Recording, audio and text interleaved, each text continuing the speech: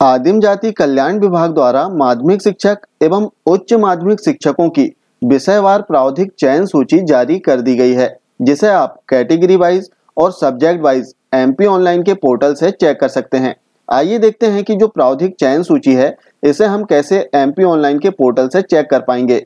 MP online के portal से चयन सूची चेक करने के लिए सबसे पहले आपको अपने मोबाइल या कंप्यूटर में किसी भी ब्राउज़र को ओपन करना है और ब्राउज़र के एड्रेस बार में आपको टाइप करना है T R C dot M P online dot G O V dot in इतना टाइप करके इसे सर्च कर लें।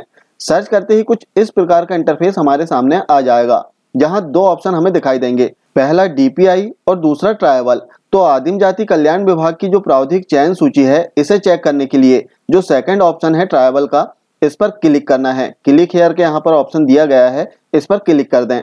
जैसे हम क्लिक करेंगे तो एक नया इंटरफेस ओपन होगा, जहाँ पर तीन ऑप्शन आएँगे। पहला उच्च माध्यमिक शिक्षक, दूसरा माध्यमिक शिक्षक और तीसरा प्राथमिक शिक्षक। अब यदि आपको उच्च माध्यमिक शिक्षकों की जो प्रावधिक चयन सूची है, इसे चेक करना हो तो पहले ऑप्शन उच्च माध्यमिक शिक्षक, इस ऑप्शन पर क्लिक करना होगा। और यदि माध्यमिक शिक्षकों की चयन सूची चेक करना हो तो माध्यमिक शिक्षक, इस ऑप्शन पर क्लिक कर दें।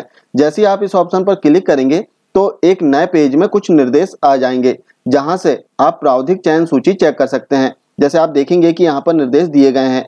अब यहाँ पर जो डाउनलोड का ऑप्शन है, इसमें आप देखेंगे कि प्रावधिक चयन सूची का एक ऑप्शन दिया गया है। आपको चयन सूची चेक करने के लिए इस ऑप्शन पर क्लिक करना होगा।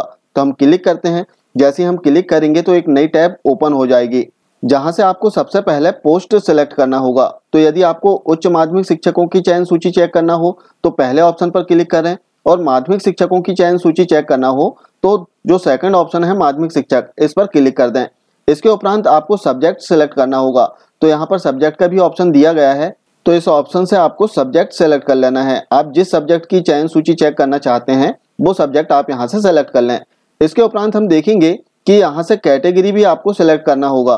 कैटेगरी के लिए ऑप्शन दिया गया है सिलेक्शन कैटेगरी तो आप यहाँ पर क्लिक करके जो भी कैटेगरी की लिस्ट चेक करना चाह रहे हैं वो कैटेगरी आप यहाँ से सेलेक्ट कर सकते हैं। अब यहाँ पर हम देखेंगे कि गेस्ट फैकल्टी का भी ऑप्शन दिया गया है। गेस्ट फैकल्टी और नॉन गेस्ट फैकल्टी तो जो भी ऑप्शन आपके लिए सुटेबल हो, आप उस ऑप्शन पर क्लिक करें।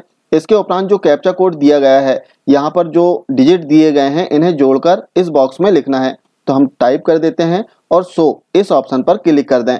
जैसे आप सो पर क्लिक करेंगे तो आपने जो ऑप्शन ऊपर सेलेक्ट किए हैं, इन विषयों से संबंधित जो चयन सूची है, वो ओपन हो जाएगी।